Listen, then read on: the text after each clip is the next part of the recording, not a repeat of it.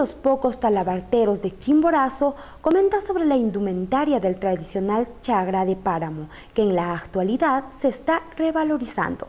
A continuación, la nota, veamos. Imagina allí wiwakunapi kangapagmi, yankanchignir kamim. Sí, pues eh, aquí en la serranía lo que lleva es, usted sabe, primeramente para hacer chagra tiene que tener un buen caballo, una buena montura, de ahí vestirse lo que es el poncho, sombrero, botas, espuelas y llevarse una buena veta para un buen rodeo.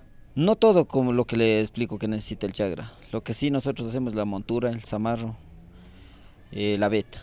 Hasta huancalazo puyaykuna y mawanmi pactanchi, wiwakuna huancanir kamim. El concurso de lazo es algo que venimos a recogiendo lo tradicional de nuestros antepasados, de lo que hacían el trabajo del ganado.